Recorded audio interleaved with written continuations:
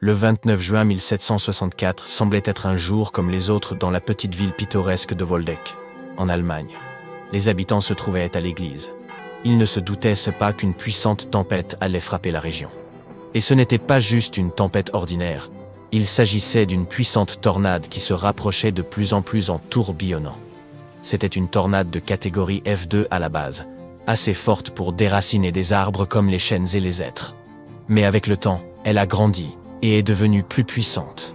Elle y même emporté deux enfants sur son passage et les a projetés dans un lac. Quelque chose d'étrange s'est également passé. Le niveau de l'eau dans le lac a monté, puis elle s'est rapidement retirée. Laissant le lac derrière lui, la tornade a frappé une maison, arrachant le toit et abattant les murs. Puis elle a changé de direction et s'est dirigée vers l'est-nord-est, intensifiant son intensité jusqu'au niveau F3. C'est alors que quelque chose de fascinant s'est produit. Une possible réplique ou une trompe satellite a fusionné avec la tornade le long de la rive du lac Luzin. C'était comme si deux tornades se réunissaient. Elle est devenue plus grande et plus forte, ce qui lui a permis de briser et de déraciner des chaînes centenaires, les lançant à 35 mètres dans les airs. Elle a laissé derrière elle un paysage dénudé, détruisant les cultures, l'herbe et même les couches superficielles du sol. À cette époque, les gens ne savaient même pas très bien lire ou écrire, encore moins utiliser des appareils capables de prédire une tornade. Celle-ci était tellement forte qu'elle a rasé des maisons, des granges et même déraciné des arbres. Quel spectacle terrifiant à observer. Mais il y avait quelque chose de particulier au sujet de l'église dans laquelle les gens se trouvaient.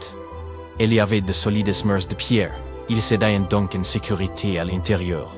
Pendant que, dehors, tout n'était que destruction. Ils ne s'apercevraient de leur chance que bien plus tard. Avec des vents estimés à plus de 480 km heure, la tornade était inarrêtable. Elle a parcouru une distance de 30 km et s'étendait à son apogée sur un périmètre de plus de 1000 mètres. La tempête déchaînée a projeté les branches des arbres, si haut que les gens ont cru qu'elles avaient terminé dans la stratosphère. Une autre chose étrange à propos de cette tornade est qu'elle s'est produite lors d'un orage sec. Très peu de pluie a été signalée, mais l'orage a tout de même réussi à créer un tel carnage. Il a même produit de gros grêlons, certains atteignant jusqu'à 15 cm de diamètre. Imaginez juste des morceaux de glace de cette taille tombant du ciel. Ces grêlons ont causé d'importants dégâts aux cultures et aux propriétés, ainsi qu'à tout ce qui se trouvait à l'extérieur à ce moment-là. Après le passage de la tempête, un savant du nom de Gottlob Burchard Gensmer a étudié les dégâts et interrogé les témoins qui avaient assisté à la catastrophe, pour se rendre compte que c'était l'une des tornades les plus puissantes jamais observées à l'époque. Elle a atteint la catégorie F5, soit la note la plus élevée sur l'échelle de Fujita, qui mesure la force des tornades. Il aura fallu une heure pour que cette folie prenne fin. En 1925, les gens du nord-est du Missouri n'avaient pas non plus de système perfectionné d'alerte aux tornades. Ils ont donc été surpris un jour, en début d'après-midi, en apercevant une tornade se former dans la région. Au début, ce n'était qu'une petite qui s'est brièvement élevée du sol. Mais avec le temps, elle a commencé à se transformer en un monstre titanesque. Pendant ce temps, à West Frankfurt, dans l'Illinois, certains mineurs travaillaient en profondeur sous terre, à environ 150 mètres sous la surface. Soudain, le courant a été coupé et ils ont su que quelque chose n'allait pas.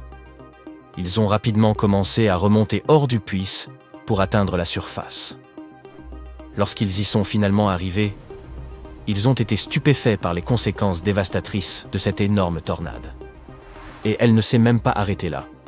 Elle a continué à semer le chaos sur une très longue distance, elle a ainsi retourné la Terre sur une distance impressionnante de 350 km, s'étendant des environs de Redford, Missouri, à l'est de Princeton, dans l'Indiana. Elle se déplaçait à une vitesse folle de 120 km à l'heure. Dans la ville de Murphysboro, en Illinois, la monstrueuse tornade a anéanti une centaine de pâtés de maisons, et 70 autres ont été ravagés par un incendie. Dans une autre ville, Griffin, en Indiana, il ne restait plus un seul bâtiment debout la tornade ne s'est affaiblie qu'à 4h30 de l'après-midi. Cette tornade, connue sous le nom de tornade des trois États, a véritablement marqué l'histoire comme étant la pire et la plus longue tornade jamais enregistrée aux États-Unis. En avril 1965, les habitants de la région des Grands Lacs se sont plaints d'une chaleur étrange. Les prévisions ne montraient aucune tempête dans cette zone. Elle était due aux orages qui balayaient l'Upper Midwest des États-Unis. Ces tempêtes étaient terribles et si puissantes qu'elles ont généré 51 tornades en l'espace de seulement 12 heures. Les États de l'Indiana, de l'Ohio et du Michigan ont fini par être particulièrement touchés. Quelque chose d'infortuné s'est justement produit durant cette période. Tout cela a pris par surprise l'équipe du Centre national de prévision des orages violents de Kansas City. Ils ont rapidement essayé d'envoyer des alertes pour informer les gens de ce qui se passait. Mais beaucoup de gens n'ont pas entendu ces annonces car il n'y avait pas encore de sirènes pour les tornades à cette époque. De plus, de nombreuses stations de télévision et de radio ne diffusaient pas régulièrement de bulletins météorologiques. L'électricité était coupée et les lignes téléphoniques ne fonctionnaient plus, ce qui signifiait que de nombreuses villes étaient complètement coupées de toute communication les gens ne pouvaient tout simplement pas recevoir ces avertissements parce qu'ils n'avaient plus accès à l'électricité ou à des téléphones fonctionnels? Un jour de printemps en 1974 a été particulièrement difficile en raison des violents orages qui ont engendré une série de puissantes tornades à travers pas moins de 13 États américains. Ces tornades ont duré 16 heures et varièrent de la plus faible, F0, à la plus puissante et destructrice, soit une catégorie F5. À un moment donné, on pouvait compter 15 tornades touchant le sol en même temps. L'une aura duré plus de deux heures, et deux autres tournoyaient, l'une autour de l'autre, comme des patineuses artistiques. Il s'est agi là d'une autre grande leçon, après laquelle certains changements ont été apportés aux alertes à la tornade. À cette époque, les prévisionnistes météo ne pouvaient avertir les gens d'une tornade que s'ils en avaient vu une de leurs propres yeux, ce qui était généralement trop tard. Le 26 avril 1989, vers 6h30 de l'après-midi, le ciel au-dessus du district de Manikganj au Bangladesh est devenu sombre et menaçant. La tornade a commencé son périple à partir de l'Upazila de Daulatpur et s'est déplacée rapidement vers l'est en direction de Saturia. Les personnes vivant dans cette région étaient déjà confrontées à une grave sécheresse, et elles ne savaient pas encore que des scénarios bien plus catastrophiques étaient encore à venir. La tempête était féroce, s'étendant sur environ 16 km de long et 1 km et demi de large. Elle a couvert une superficie relativement faible, mais aura tout de même causé d'énormes dégâts. Elle a déchiré la terre et soufflé les bâtiments, déraciné des milliers d'arbres, robustes, pourtant fermement ancrés, et tout le reste sur son passage. La campagne de Marsala dans l'ouest de la Sicile est vraiment bucolique. Mais elle n'était pas si belle à voir le 8 décembre 1851 deux tornades féroces ont soudainement balayé la terre, ne semant que la destruction. Alors qu'elles se déplaçaient, elles apportaient avec elles de fortes pluies et des orages de grêle, causant encore davantage de dégâts aux terres agricoles déjà vulnérables. La commune de Castellamare avait un port charmant où mouillaient de nombreux bateaux, et elle a subi de grands dommages. La nouvelle de ce cataclysme a atteint des endroits lointains, parvenant même jusqu'aux oreilles de l'Illustrated London News. Les vents en Oklahoma le 3 mai 1999 étaient également parmi les plus puissants. Une simple journée d'orage a causé d'énormes dégâts, du Texas jusqu'au Dakota du Sud. Au moins 45 tornades ont frappé le sol, et l'Oklahoma a été frappé le plus durement par une tornade de catégorie F5. L'histoire semblait familière, ce qui semblait d'abord être une petite tornade s'est rapidement transformé en une force colossale qui, à un moment donné, s'étendait sur un kilomètre et demi. Celle-ci a arraché le bitume des routes, le décollant comme le couvercle d'un simple yaourt. Elle a déraciné la végétation et a même projeté des toitures entières contre des lignes électriques.